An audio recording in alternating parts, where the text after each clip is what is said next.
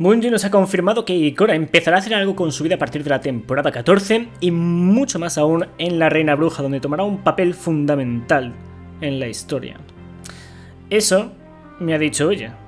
Vamos a hacer un vídeo de lore sobre Ikora. Creo que mucha gente no sabe algunos de los puntos más importantes sobre Ikora, como por ejemplo que pasó 61 años sin hablarse con su espectro, de entre otros puntos muy importantes. Creo que os va a gustar muchísimo este capítulo, ¿vale? Y no os voy a spoilear más de los temas que vamos a, a, tocar, pero os recomiendo verlo al completo porque merece mucho la pena, ¿vale? Así que dicho eso, vamos allá. Para comenzar este episodio de Lore, tenemos que irnos al capítulo 3 del libro El futuro oscuro. Este futuro es uno de los posibles futuros que pudo experimentar el Sibrey, la desconocida, en el que experimenta cómo la oscuridad termina con nosotros. De ahí que sea el futuro oscuro, ¿vale? Donde la oscuridad gana. A lo largo de este futuro, vemos que Ikora Rey muere. Literalmente se confirma muerta bajo los escombros en la torre y uno de los puntos más importantes es que Eris Morn se revela que es Sabazun, de hecho incluso peor que Sabazun, y está detrás de todo y tenemos que enfrentarnos a ella. Este vídeo trata sobre Ikora en particular. La parte de Eris Morn está interesante, pero personalmente, y bueno, por lo que he visto de otra gente que está investigando el mismo tema, creemos que tras la revelación que ha habido recientemente sobre la reina bruja y el hecho de que Ikora tomará un papel fundamental en esta, de hecho os lo voy a mostrar de fondo en pantalla, nos dijeron, como algunos de vosotros habéis podido comprobar, últimamente Ikora Rey no está tan presente en Destiny 2 como antes. Nosotros también la hemos echado de menos. Pues bien, no solo volveréis a ver a Ikora en la temporada 14, sino que su papel será fundamental en la Reina Bruja. El hecho de que su papel sea fundamental en la Reina Bruja quita por completo la posibilidad de que sea el futuro oscuro del que estaba hablando la desconocida, ya que nada más empezar eh, este libro, ¿vale? En el capítulo 3, ya nos dicen que Ikora ha muerto, ¿vale? Y es poco después que empezamos eh, nuestra aventura para terminar con Eris Morn y con Sabazun. Así que sí, parece que ese futuro ha cambiado. Mucha gente, incluyéndome, estamos retirando la posibilidad de que Iris Morn sea quien se, quien se corrompa y se convierta en la reina bruja. Uh, estamos bastante seguros de ello, además porque sería muy cliché, ¿no? Es decir, todos esperamos que ocurra eso. Ahora hay mucho que decir sobre Ikora, teniendo en cuenta que su papel será fundamental en la reina bruja. Como bien han dicho, Bungie es... Eh, consciente de ello también, y Cora no ha tomado parte en la historia desde Shadowkeep, desde el bastión de, sombras en el que fue directamente a la luna para investigar la presencia de la pirámide, la primera pirámide que descubrimos en la luna. Voy a citar varias cartas de lore y ocurridos que parecen indicarnos que Ikora en particular es una peligrosa aliada, teniendo en cuenta las siguientes razones. Y es que para empezar es muy emocional, ¿vale?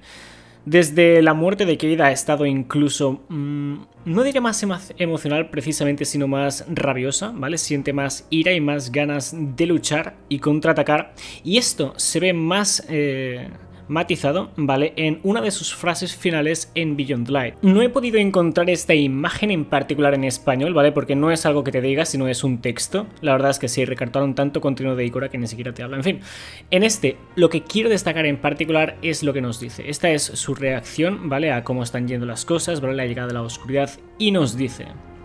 Quizás no es esperanza lo que necesitamos, sino rabia. Rage. En fin, me parece que esas palabras son muy importantes viniendo de Ikora, ¿vale? Y esto de la rabia, como os digo, creo que la lleva arrastrando desde la muerte de Cade en Los Renegados hace años. Al margen de eso, no es lo único que me hace dudar un poco sobre la estabilidad emocional de Ikora y el si la pueden corromper. Ahora, si nos vamos a la nave exótica Función de Onda Universal, aquí nos destacan que Ikora lleva sin hablarse con su espectro 61 años. Dice, y esto es una pequeña conversación que tiene, ¿vale? Destaca que llevan tiempo sin hablar, le pregunta su opinión a Ofiuco, su espectro, sobre un tema que está investigando, y su espectro dice, bueno, se pregunta más bien, no me ha hablado en 22.303 días, 61 años. Yo tampoco en casi el mismo tiempo. Estoy sin habla. Y Cora le dice, no eres solo mi espectro, una vez fuimos amigos, quiero saber lo que piensas. Intento mantener la calma, piensa el espectro. No creo que funcione. Me alegra que me lo preguntes. En fin, eso nos indica también, de hecho, que han seguido comunicándose, al menos más recientemente, pero ese dato me parece muy importante el hecho de que hayan pasado 61 años sin hablarse. Obviamente, eh, la, idea, o sea, la edad de los guardianes es muy relativa, ¿vale? Porque una vez ya se convierten en guardianes, ya no envejecen del mismo modo, ¿vale? Una de las... no tan teorías, sino ideas por las que el espectro no se lleva tan bien con Ikora Rey es que Ikora Rey formaba parte del grupo de hechiceros Tanatonautas. Este grupo de hechiceros se mataban a sí mismos, es decir, morían voluntariamente para experimentar visiones antes de volver a ser revividos por sus espectros. Obviamente hay muchos tanatonautas, o sea, muchos espectros a los que no les gusta eso de sus guardianes, ¿vale? Pero sí, Personalmente creo que es definitivamente una de las razones por las que su espectro no se lleva tan bien con ella. Y esto, en particular, también es algo que quiero destacar, el hecho de que formó parte de los anatonautas, ¿vale? Teniendo en cuenta, eh, pues, esa curiosidad que tienen los hechiceros, ¿no? Que son capaces de matarse a sí mismos y luego ser revividos para, durante esa experiencia, poder eh, experimentar visiones, ¿vale? Y ver más allá. O sea, eso me huele a que serían capaces, pues eso, de utilizar la oscuridad para tener visiones, para ver más allá, para encontrar otras soluciones. En fin, y Cora en particular en varias ocasiones no nos da esa sensación, ¿vale? De que quizás es tan curiosa como un hechicero como Siris o quizás Toland, ¿vale? Ese sí que se fue bastante más allá. Pero aún así, como podéis ver, es muy curiosa, formó parte de los Tanatonautas, no se lleva muy bien con su espectro y tiene rabia, tiene ira. En fin, ahora nos vamos a la nave estelar 7M que viene con la Aurora 2020 y me parece muy importante porque aquí nos destaca lo siguiente y es que Ikora envió a una guardiana llamada Nisa a inspeccionar la pirámide. ¿Vale? Y esta es una de las frases que le dice. Una de las compañeras que está hablando con Nisa a través de una comunicación le pregunta ¿Cuándo volverás a casa? Y Nisa dice, cuando esta pirámide decida largarse de aquí o cuando Ikora estime que tiene suficientes datos es decir, nunca. En fin, básicamente Ikora tiene a una guardiana en la pirámide de Europa inspeccionándola. ¿Vale? Hasta extraer, bueno, X datos, no sabemos exactamente qué busca, pero es un punto que probablemente haya pasado desapercibidos por mucho y sí, quizás Ikora no haya tenido tanto papel, en los últimos años, pero sí ha estado haciendo cosas.